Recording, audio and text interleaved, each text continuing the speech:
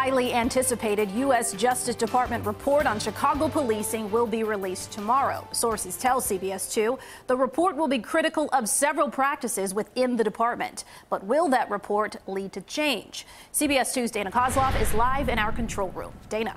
Erica and Rob, the report is one thing, important, yes, but experts say it could be weightless without federal follow through.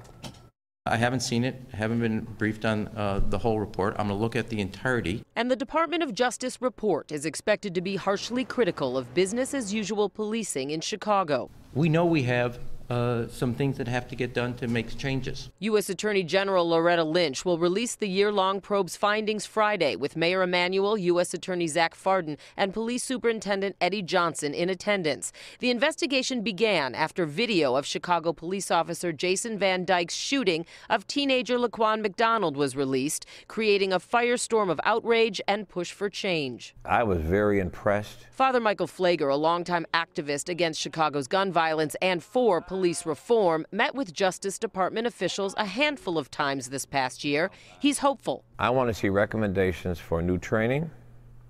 I want to see recommendations for what it means to use of force. I want to see recommendations for discipline and punishment. But Pfleger and other watchdogs say without federal oversight like a consent decree, recommendations may mean nothing. The recommendations are concrete actions and the follow up what happens if they don't.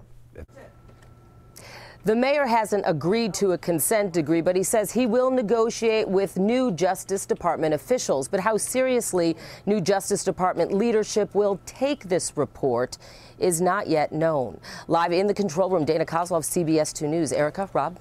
Thank you, Dana.